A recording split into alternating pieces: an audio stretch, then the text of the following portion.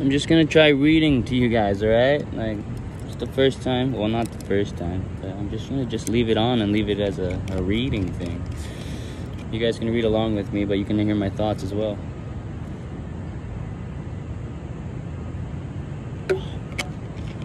Thank you, water. So I borrowed this book from someone and the pages were kind of ripped out. So the page that I'm on is only 12, but 13 and 14 just don't exist. Oh, wait. Oh, whoa. There's actually a bunch of pages missing. Oh, that's so sad. Oh, that's actually kind of sad, but you know what? It's okay. My kids were playing with it one day and it we got some torn pages, unfortunately. But you know what?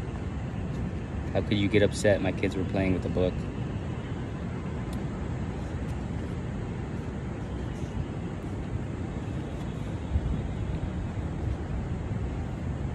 Page 12, and then we're gonna skip to 17. Oh shit! Okay. Look. 12, 17. No coincidences. okay. What is the greatest obstacle to experiencing this reality?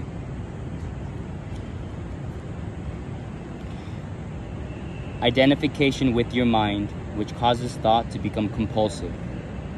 Not to be able to stop thinking is a dreadful affliction, but we don't realize this because almost everybody is suffering from it. So it is considered normal. This incessant mental noise prevents you from finding the realm of inner stillness that is inseparable from being. It also creates a false mind made self that casts a shadow of fear and suffering. We look at all that in more detail later.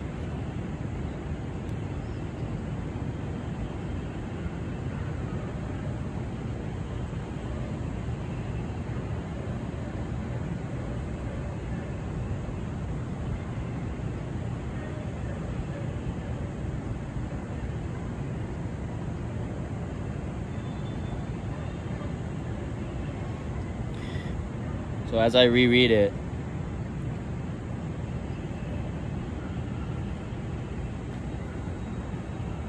we're, we're, we're filled with distractions in this world to, to keep our mind busy, to keep our mind stressed, to keep our mind afraid, to keep our mind stimulated. We feel like we have to do something all the time when just we just need to sit here or relax or wait and breathe.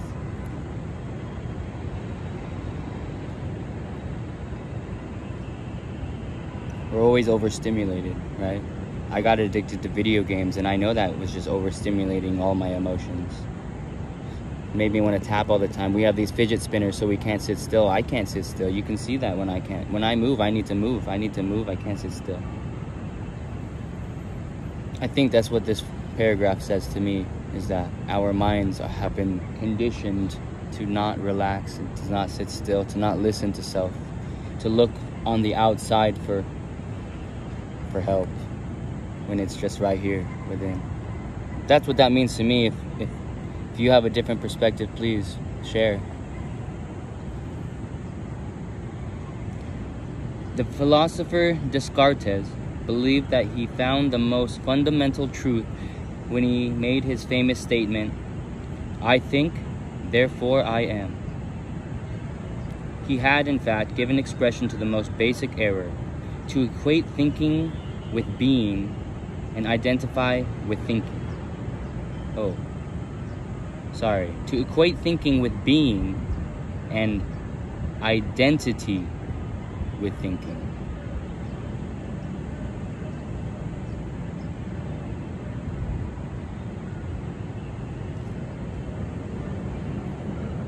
So we are not who we think we are. Yeah? Is that what you guys get with that? We think we're ego, right? When we just are self. Share with me, please. This is fun. We're not even, we're barely right under halfway through the page. I can't stop talking, fam.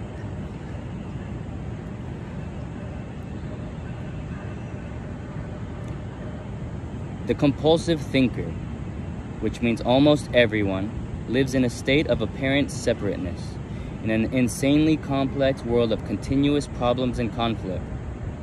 Did I already read this page to you? Three finger rule.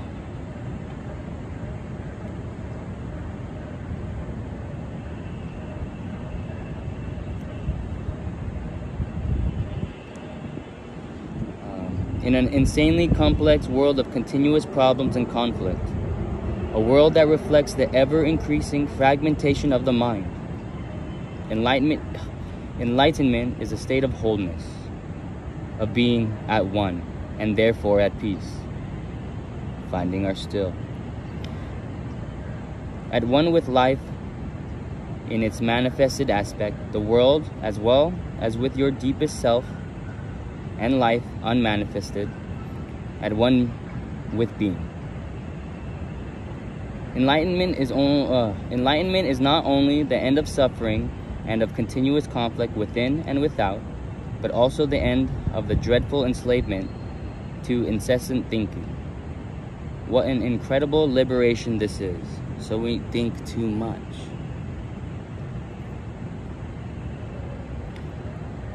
Identification with your mind creates an opaque screen of concepts, labels, images, words, judgments, and definitions that blocks all true relationship. It comes between you and yourself, between you and your fellow man and woman, between you and nature, between you and God. Everything that we see is a mirror of ourselves. Stop projecting.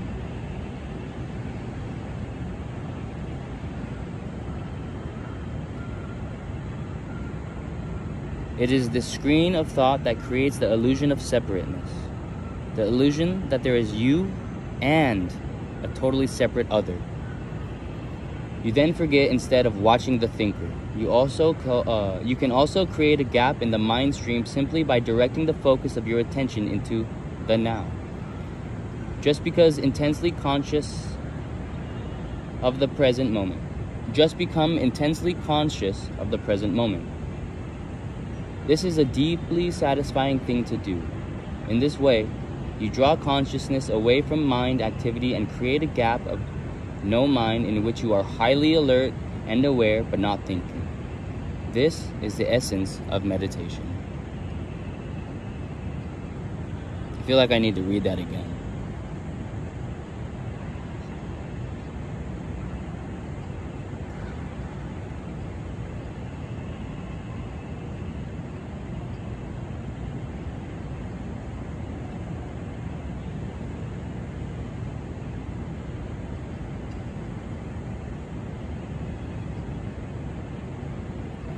Okay, this might not have anything to do with what we just read, but I always tell people I'm a ninja. I'm gonna tell you why. Because I feel like I can move like a ninja, even though I move the way I do now. Watch me fly when I'm 100%. But it's not just the way I move, it's how I feel that I am aware of my surroundings even though I'm not thinking about my surroundings, I am definitely aware of my surroundings and I try to feel the intent of everyone around me. Most people are zombies, they don't do anything, they just stick to themselves. They don't even smile at people. Most people are zombies. But you know what? The ones like you and I, we're smiling, we're happy, we're saying hi to everyone. The ones with bad intent, you can feel it. So this is what I'm saying. I can feel other people's intent around me because I can feel those around me. That's why I'm like a ninja. Be present.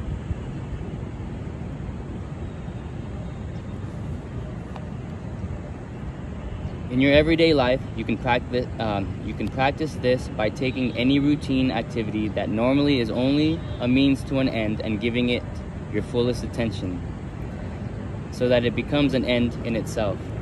Dude, it's so amazing, man. I see all of the posts lately, and I even posted it myself. I even practiced this on my my bike ride the other day. I didn't focus on the end. I focused on the journey. It was so fun. The journey doesn't have to end if there's no ending. Remember, the end is just the beginning. Cool, man. All the synchronicities, man. The synchronicities are wild. It's like I'm reading what I'm thinking when I'm on Twitter now. You see what I mean?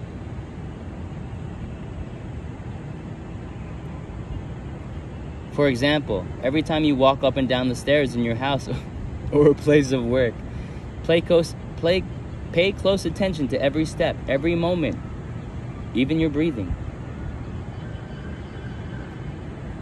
Because of my foot, since September 22nd, every single step I have taken, I have focused on 100% because it hurts. Every single step.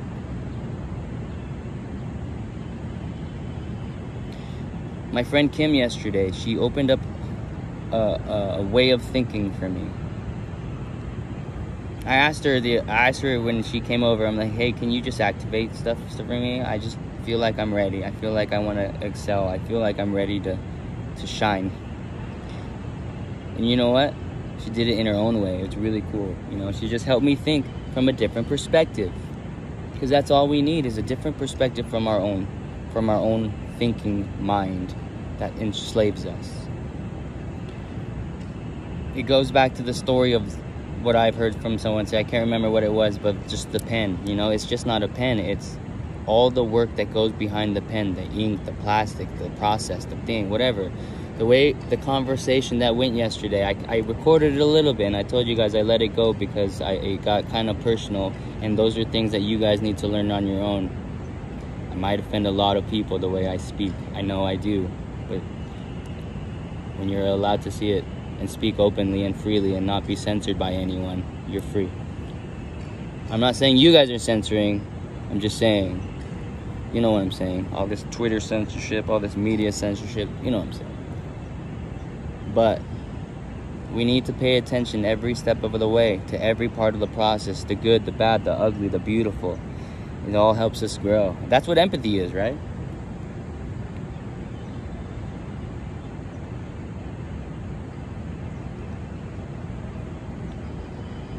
Be totally present. Or when you wash your hands, pay attention to all the sense perceptions associated with the activity. The sound and feel of the water, the movement of your hands, the scent of the soap, and so on. Or when you get into your car, after you close the door, pause for a few seconds and observe the flow of your breath. Become aware of the silent but powerful sense of presence. There is one certain criterion by which you can measure your success your success this practice. Success in this practice, the degree of peace that you feel within. I mean, this little S right here for Shane, no, it actually just means stop to think about the rest. But I stopped so many times that I don't think we need to talk about it any longer.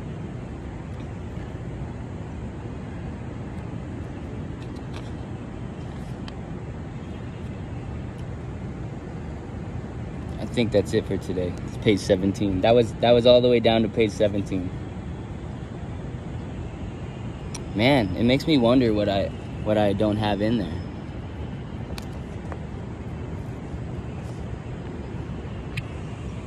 So I'm gonna probably continue reading Self, but you know, I did want to share my thoughts with you guys as I was reading it.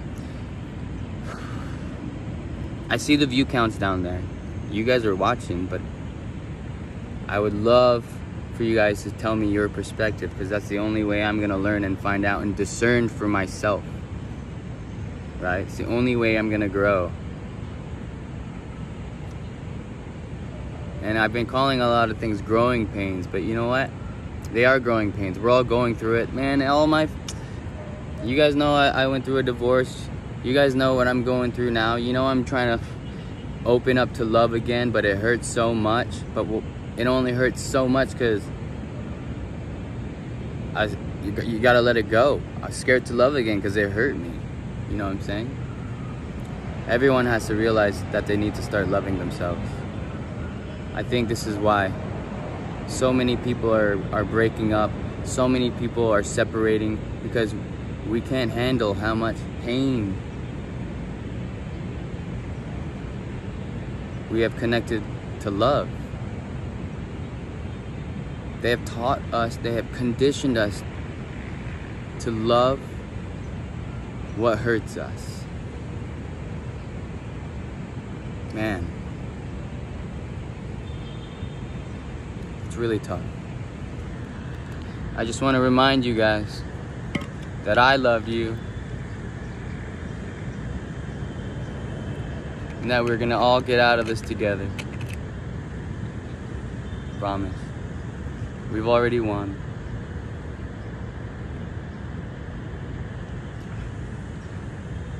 Don't forget to thank your water. Okay? And remember that we are all God's because we are one with God. We are made of God. You don't have to, to listen to me, just listen to self. Go into the mirror. The mirror is not outside, it's not the mirror you look at with your eyes, it's the mirror within. Talk to self. Self has all the answers. Anyways, I'm gonna sign out. Thunder out. Love you all.